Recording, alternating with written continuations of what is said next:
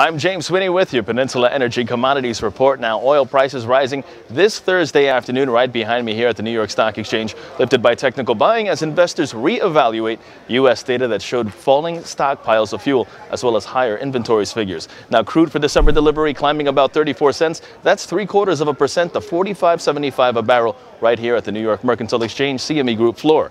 At the same time, oil prices coming under pressure all week long from worries about a global glut after U.S crude inventories rose twice more than expected. Now, over in precious metals, gold futures falling to a one-week low and since recovering as the euro sank against the dollar after ECB President Mario Draghi said the bank's degree of accommodation will need to be re-examined at its upcoming December meeting. Gold for December delivery on the COMEX division of the New York Mercantile Exchange down 80 cents or about 0.05% to trade at 1167.90 a troy ounce. And elsewhere metals trade, silver for December delivery on the COMEX division of the New York Mercantile Exchange tagging on 13 cents or 0.86% to hit a total of 1584.50 a troy ounce.